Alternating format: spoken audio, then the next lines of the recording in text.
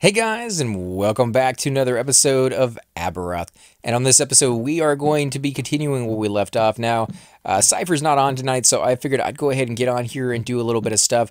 I did get a new weapon, as you guys can see. It's a club right there. It was worth 800 gold, and they sold it over here in the shop. Now, there's some pretty good stuff in here. I was trying to save up for a longsword, but unfortunately, they never had any longswords in here. It changes from time to time what they have. Uh, I can't afford to buy a leather strap. How much is that?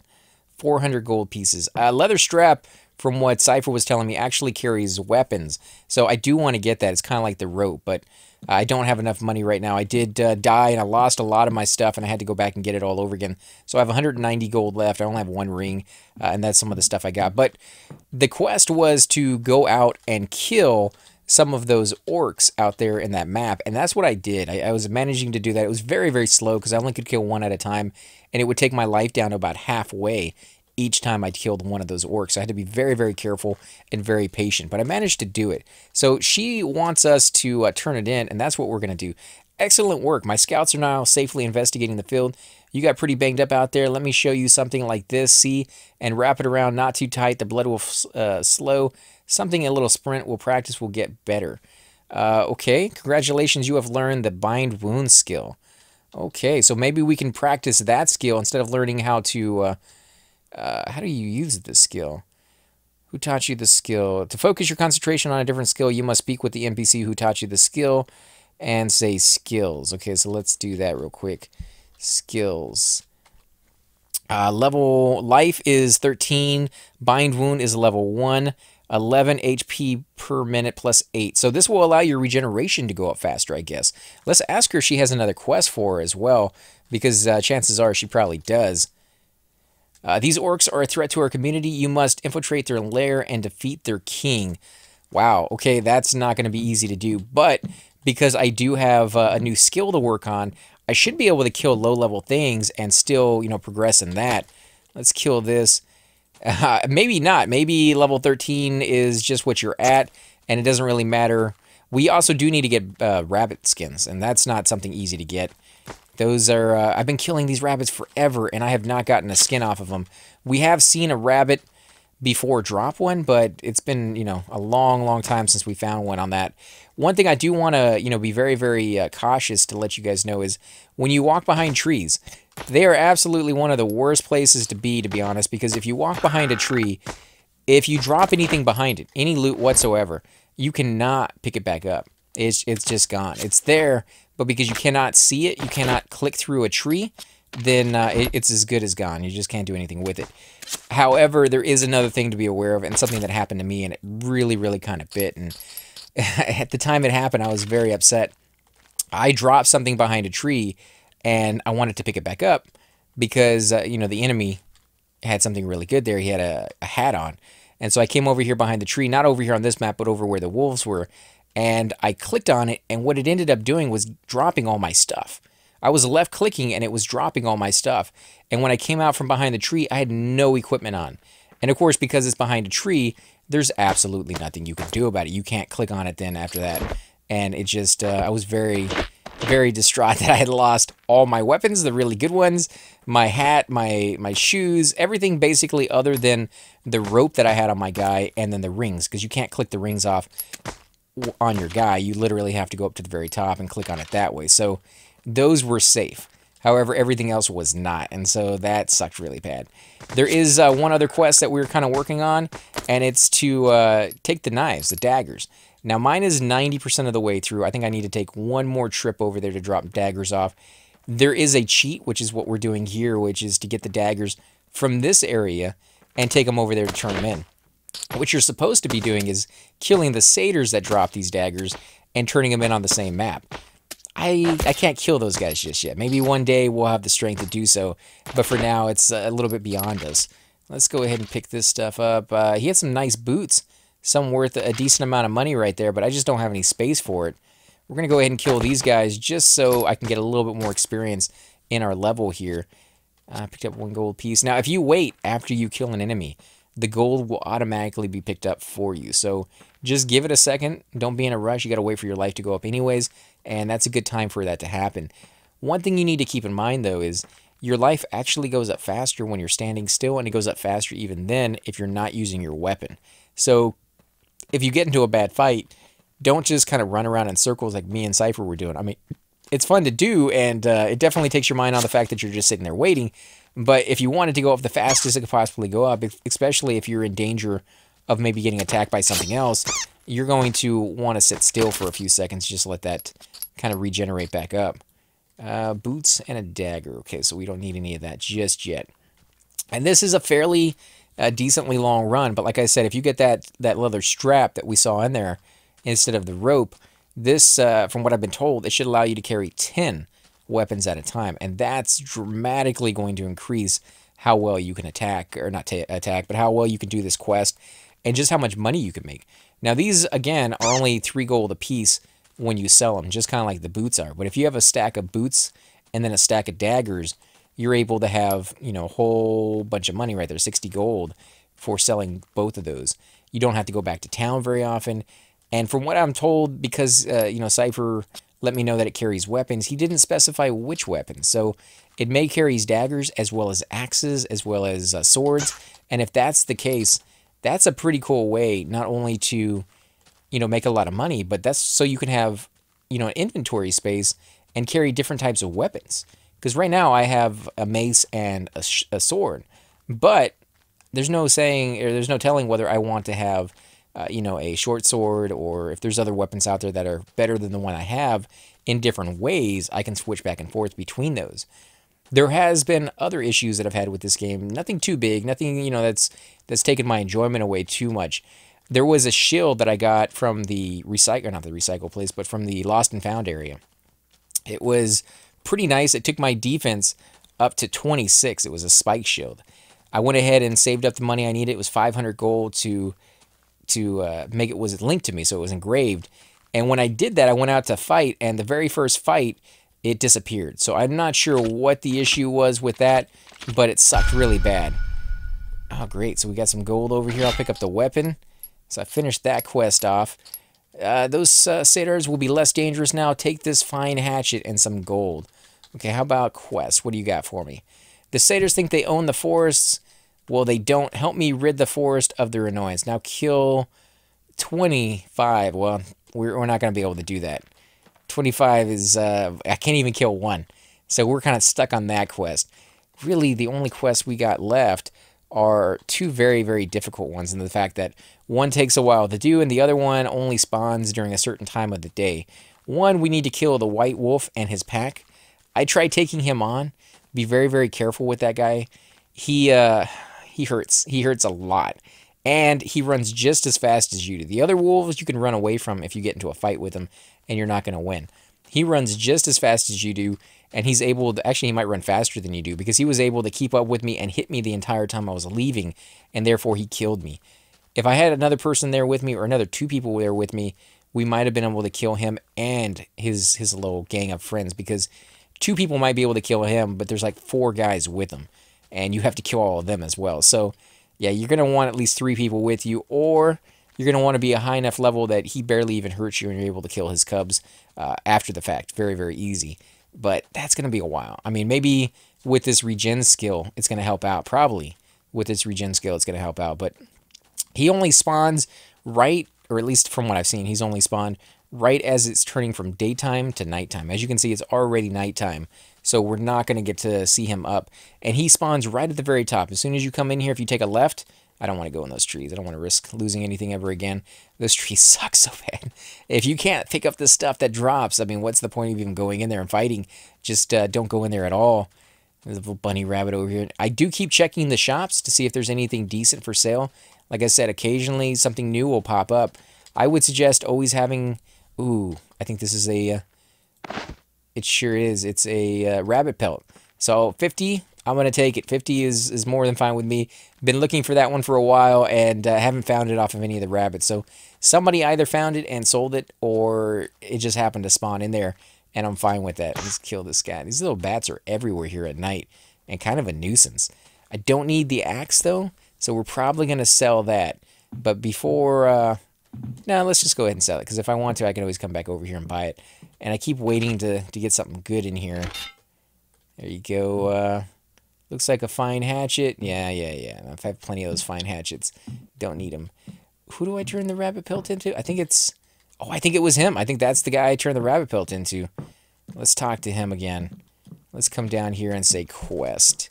If he's uh, not too far away. Uh, he is ready to attack. He's unfriendly. So I don't... Uh, I don't know. He's blocking the door too, so I don't. Uh, I don't know what's gonna happen here. He might actually attack me here in a second. Good morning, Demiro. The white wolf is sneaky and fierce. Okay, so I don't want to do that. Dude, get out of the way. Yep, he's going after me. Oh, maybe not. He's going into his bank. Okay, so he's gonna leave me alone. Let's come up here to this guy. He wanted the white, the white wolf. No, I don't know who wanted this. Maybe I don't think it was her. Maybe the bartender. Let me look at it again quest. Who wanted the rabbit for? Yeah, it was the, the bartender. So let's go over there and turn that in. He didn't attack me, though, so I don't know if there's a trick to it where you have to attack them first before you become aggro or not. I don't think it is. So I don't know why they do that.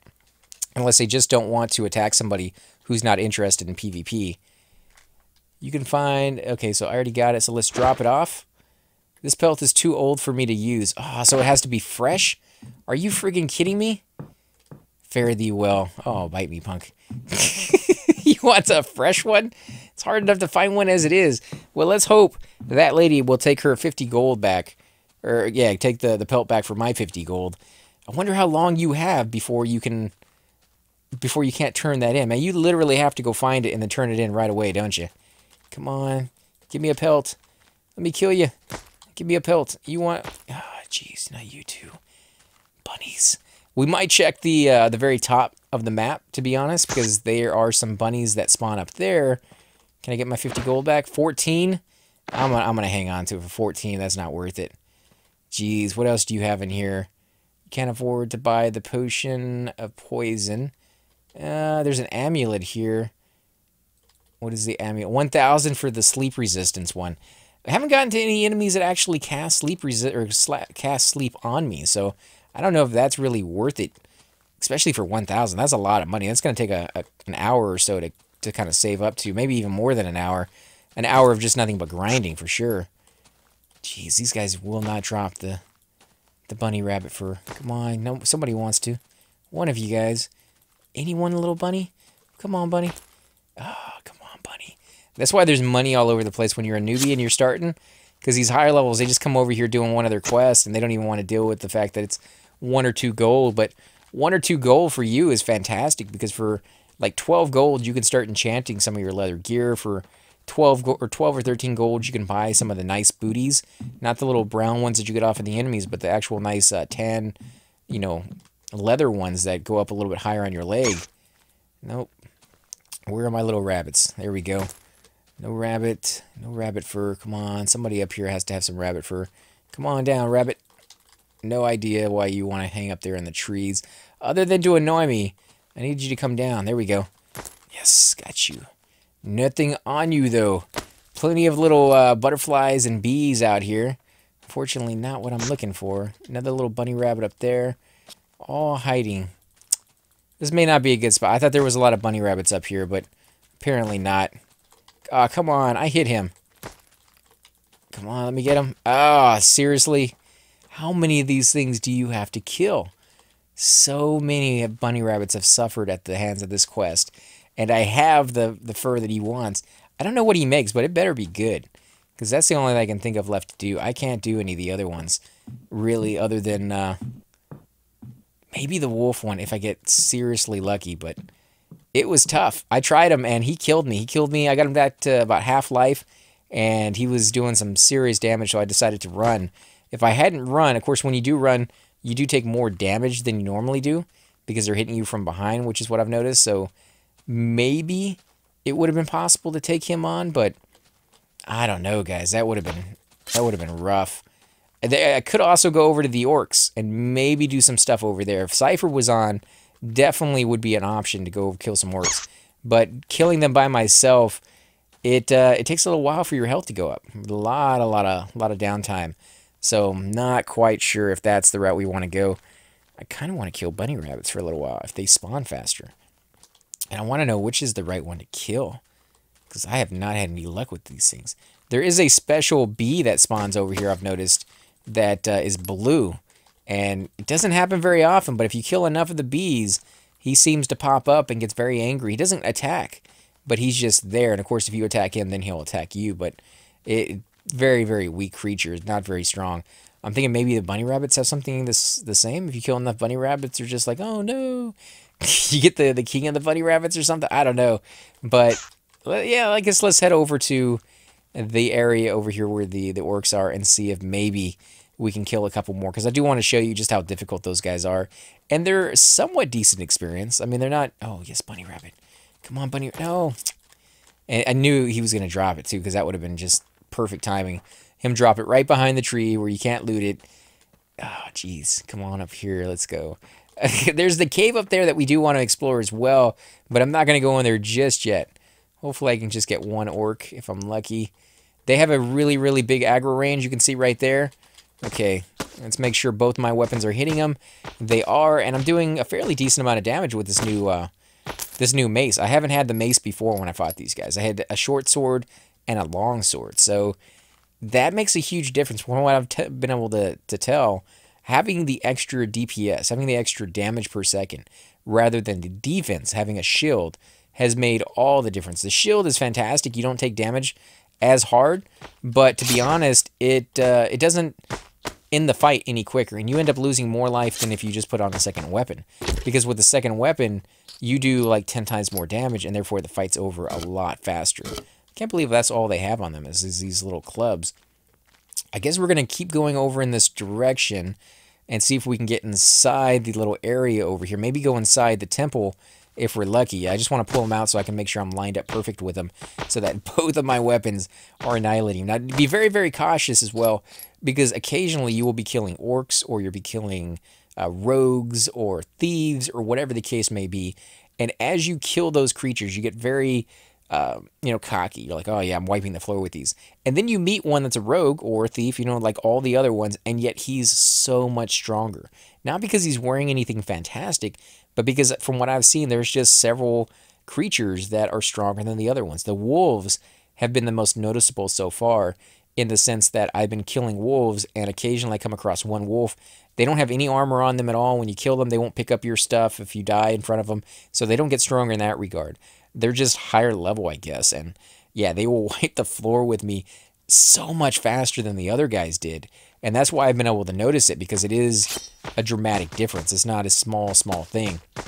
I'm going to kill this guy, wait for my life to go back up a little bit, and then go inside because you just never know what's going to be on there. We went in there once before, but we went in there as a group, and there was high level guys kind of clearing the way for us. So I don't know if as soon as I zone in there, there's going to be four guys there.